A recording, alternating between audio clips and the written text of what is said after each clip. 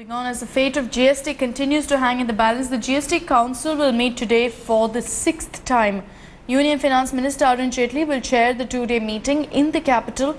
Three crucial legislations related to the goods and services tax bill are currently awaiting Parliament's approval if the rollout is to become a reality by April 1st, 2017. But before reaching the doorsteps of Parliament, the government needs a crucial nod from the GST Council.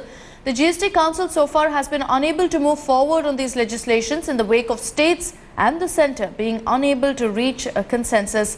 The states are insisting on a dual tax regime under the GST. If the GST related legislations are to become a reality, then today's meeting must see some sort of a breakthrough. Parliament will reconvene on Wednesday after a long weekend.